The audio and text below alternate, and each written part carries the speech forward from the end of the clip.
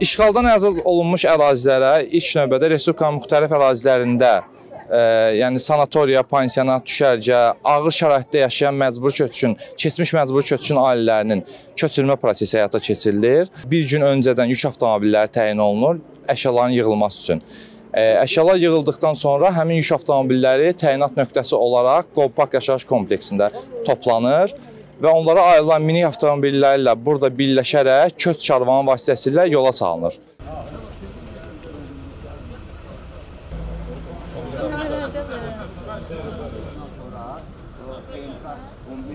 Sumqayıt şəhərində yataqxanada yaşayırdıq. İndi Füzuli şəhərində bizə şərait yaradıblar. İnşallah gedirik. Allahın köməyinə gedirik. Orada yeni həyata başlamağa, yeni ümidlərlə hər şey çox gözəl olacağı ümid edirik. Allah prezidentimizdən sağ eləsin. Evimizə, yurdumuza qaydırıq.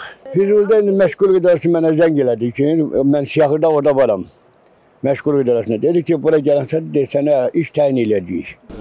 Yox ha, bütün ana xəbərini vermişəm. Qaradağ rayonu sahil qəsəbəsində məskunlaşmışdıq. İndi şükür qayıdırıq öz rayonumuza.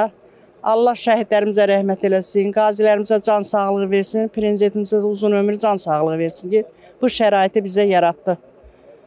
Allah köməyiniz olsun. Uşaqlarımız da orada işinə təmin olub. Avqustun 18-i gedib onlar. Birinci iki dənə oğlum gedibdi. Hərəsini dörd baş ailədilər. Yaxşıdır, şükür, razıyıq. Soğuk şarkı.